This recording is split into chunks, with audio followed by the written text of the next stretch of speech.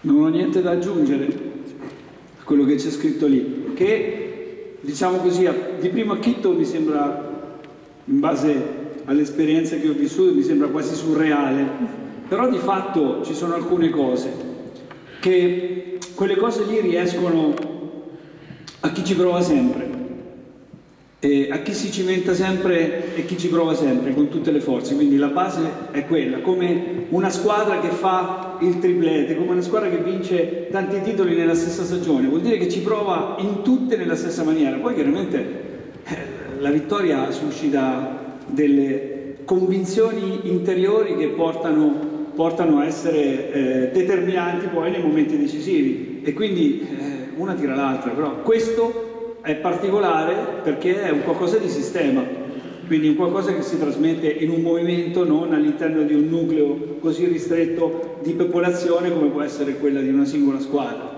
Quindi è un qualcosa di importante. Non so, io ho notato per esempio che durante il Covid noi abbiamo lavorato quasi a pieno regime, cosa che tanti paesi non hanno fatto, cosa che tante altre discipline sportive anche in Italia non hanno fatto. Ma noi non ci siamo fatti mancare niente perché poi tutto quello che di solito facciamo in un'estate normale, in una preparazione primavera, fine inverno, inizio primavera, normale, noi l'abbiamo fatto, almeno ai vertici l'abbiamo fatto. E questo secondo me ha fatto la differenza perché ha trasmesso il messaggio che comunque anche di fronte a una situazione così eh, disagio, di, di, disagio comunque non ci siamo sicuramente seduti. Ecco, questi sono tutti i messaggi che che eh, riallacciano a competitività e alla consapevolezza che comunque si prova a fare tutto quello che, che è nelle nostre forze per cercare di perseguire un risultato. Insomma. Il primo messaggio che tu dai a una ragazza quando si avvicina, quando viene convocata e si avvicina alla maglia azzurra, qual è? Qual è la prima cosa che, che dici loro? Creo consapevolezza del privilegio che quella ragazza ha nell'essere stata scelta per onorare l'idea di vestire la maglia dell'Italia.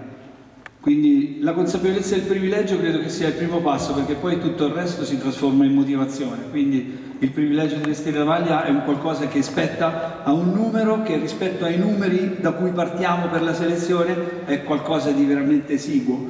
Giusto stamattina ho uno stage di selezione al centro Pavesi e abbiamo affrontato questo argomento, ho fatto un esempio di come le decine di migliaia di ragazze della loro età diventano 700-800 ragazze negli stage regionali, diventano 80, 90, 100 ragazze nel complessivo degli stage nazionali e diventano 25-30 ragazze che vestiranno la maglia azzurra in una delle tre categorie. Quindi questo percorso ovviamente non deve assolutamente far dimenticare il privilegio che presuppone.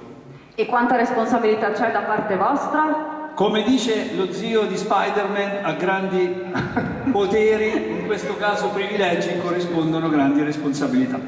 Grazie. Grazie, Marco. Grazie a voi. Non mi ricordo il nome, non mi ricordo come si chiama, però è lo zio di Spider-Man, sì.